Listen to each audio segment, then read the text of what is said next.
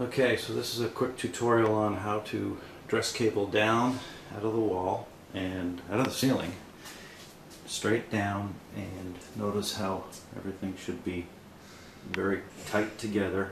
All the tie wraps are the equal distance apart, pretty close. And what you do is you dress it in. This is the patch panel for a wall mount that wall mounts onto here. The tie wrap is to help hold the weight temporarily. This is a 48 port patch panel. And the idea is to dress it out as smooth as possible and then just start curling in the wires one by one to the right distance and they tie wrap along this this bar that will be centered and you tie wrap to it. If you don't have one of these uh, bracket bars to hold and tie wrap to then it makes it a little more difficult but you can always take the cables out of here tie wrap every two uh, cables that go in and it'll hold it pretty firm pretty firm along here as if there was a bar.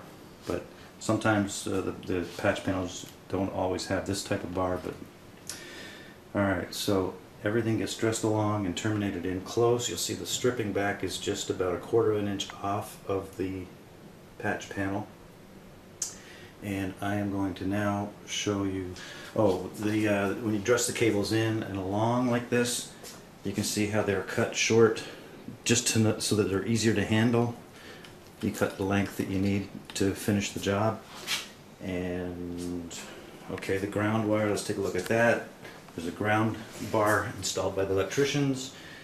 And you can drill a hole into the side of the uh, the what do you want to call this? The mount and then there's this little ground lug. You can screw it in if you drill a hole and then you put a screw through it with this ground lug and then you put a number six ground. Number six thickness that's the code.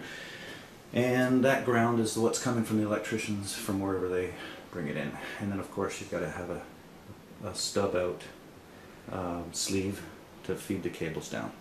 And then the rest of the equipment will go on the backboard.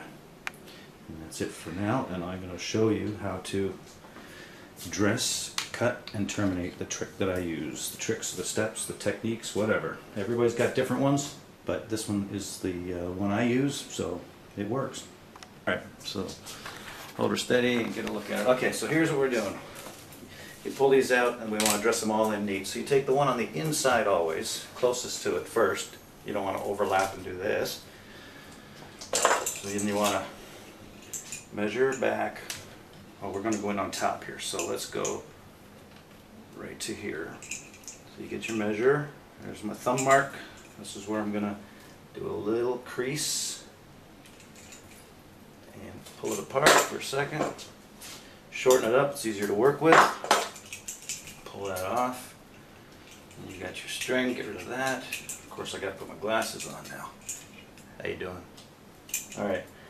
So, now, what you do here is make your life easy do a little unspinning because this Cat 5e and Cat 6 stuff it gets tightly twisted so it's hard to strip over but if you just unspin each wire it makes your life easy. You'll see in a minute because your fingers got to work in a tight area. Okay so now got to go into here. All the labeling is always there white blue white orange white green white brown so we're just going to go in and take the white blue. And you got to make sure you get the white blue first and then the blue white because that's what the drawing says it needs. Press it in. Get the white green out of the way if that's what's next in your fingers. Come back to the white orange. Like that.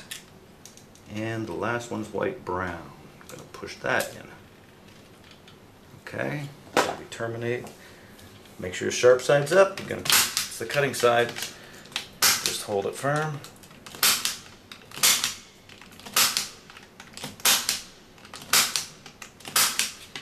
sometimes the cutter doesn't go perfect, you just spin it like that. And then one more I'll show. Gonna go in, put your thumb where you want the cut line. Don't cut into the wire, you just do a crease and then pull it. And then move my cutters to there. Pull that off, get rid of that string because it's going to be annoying. Oh, looks like I got rid of it already. You spin it loose so it's easy to spin over the separate over top of the connection point. And you notice I'm pushing out like that as you go, as you're unspinning. And one more. Like that. Okay. Now, going in with the blue again. White blue. You notice there's about a quarter of an inch between the end of the sheath and where we want to insert the wire. And you don't want to reverse pair. Let's straighten that out there. Got that down there. Okay. One more here. And that's how you do it.